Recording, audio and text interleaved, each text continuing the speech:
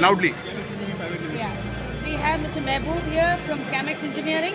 I want to know what is your experience being here for the Expo?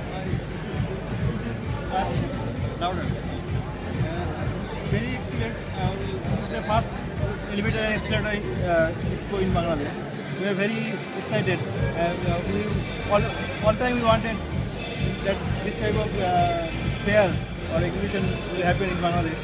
We are waiting for this a long time.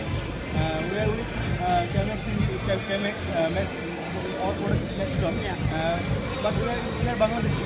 We are a friend of uh, Camex. Uh, we are agent of uh, in Bangladesh. So, Uh, did, did you get good customers? yeah, obviously.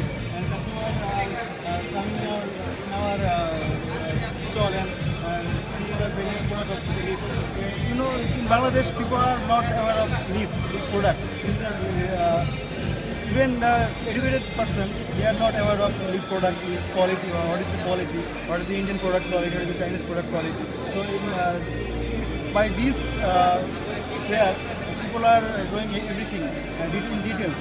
Uh, what, what we said uh, in uh, cabin, uh, outside the cabin, in machine room, uh, what is the uh, gearless motor, what is the gear motor, uh, everything people come to know, come to know.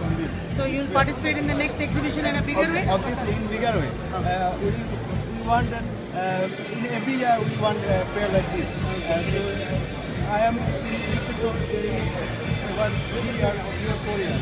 I am uh, waiting for this. When this will happen, uh, fair leaf fair will happen. Very So, you had a good business. Yeah, obviously. Okay, nice. Thank you.